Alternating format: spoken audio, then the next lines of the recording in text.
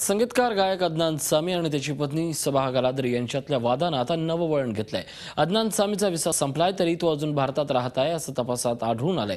अदनान सामीला यासंबंधीच्या सभाच्या वकिलांतर्फे सामीची उलट तपासणी करण्यात आली असताना आपल्याला याबाबत माहिती नसल्याचं तो म्हणाला. त्याचा विसा सहा ऑक्टोबरपर्यंतच वैध होता याबाबत अदनान सामीनंही स्पष्टीकरण दिलंय.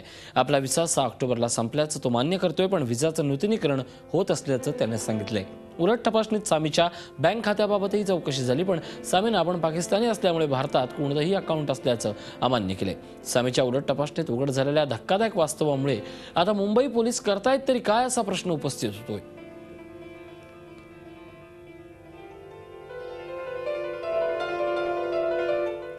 झी चोवीस तास एक पाऊल पुढे.